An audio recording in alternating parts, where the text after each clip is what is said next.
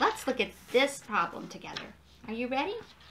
Okay, this says, Will, we're to run through the problem, right? R is for read. Will had four pennies. Later that day, he found five more pennies. How many pennies does Will have now? Okay. When we run through the problem, the U is for underline the label.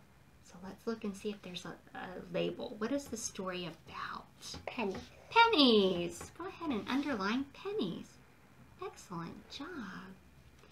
And then we name the problem type. N is for name.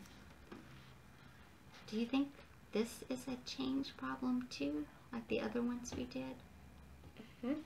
Is there a start amount and something's changing? Mhm.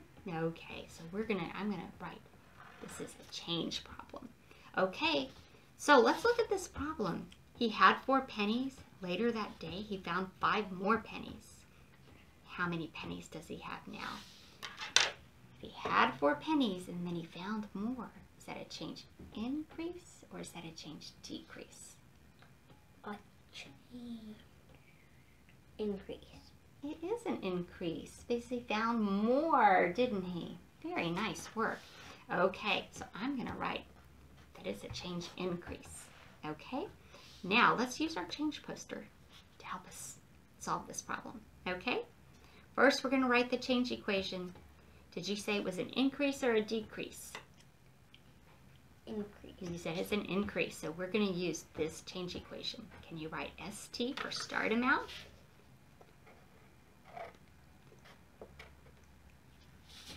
Plus C for the change equals the end amount. Very nice touch. Okay, ST is for the start amount, C is for the Change. change, and E is for the End amount. end amount. Very good. So what's our start amount in this problem? How many Four. pennies did Will? Yes, he had four. Then it says we find the Change amount. change amount. What was the change amount? Five. Awesome job. Then we're going to find the, End amount. okay. Does our story tell us the end amount? No, that's the secret. That's the mystery. We're going to find it. Good job. Okay, now we need to write our signs. What signs do we have in that problem? What math symbols do we have? Good.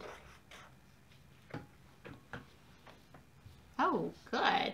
So 4 plus 5 is the same as x, and you're right. 4 plus 5 is 9. So we're going to write x is the same as 9. Thank you. 9 what? What is our story about? We always have to have a number and a oh. label. Pennies. Excellent job.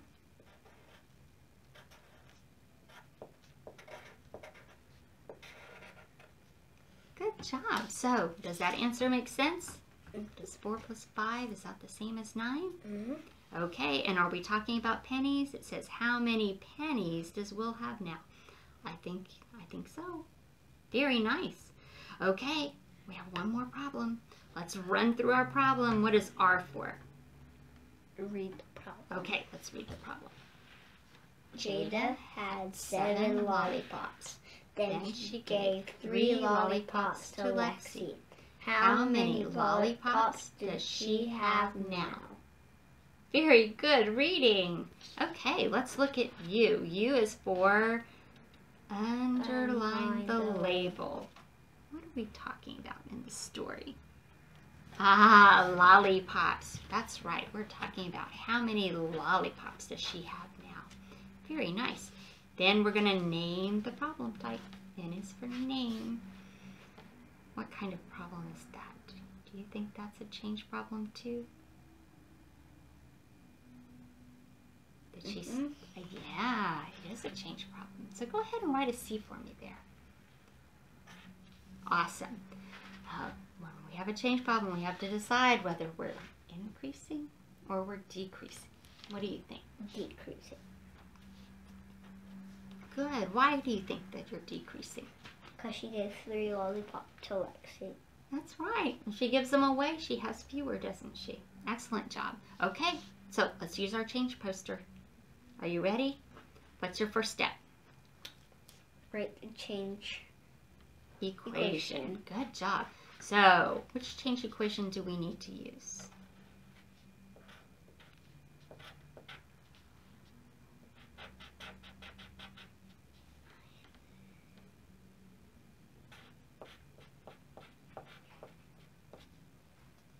Awesome. I like how you fixed that.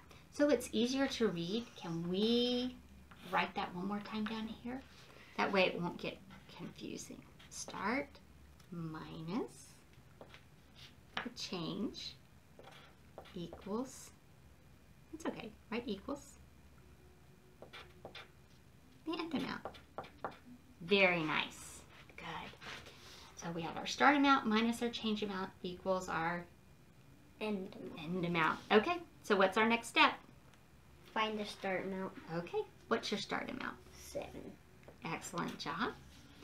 Then find the change amount. Three. Good. And find the end amount. It doesn't tell us our end amount, does it? Very nice. So what are your math symbols you need? Good. So 7 minus 3 is the same as x. x equals 4. Look at you. You are so fast. Okay. Now you have a number. Your answer needs one other thing. Do you remember?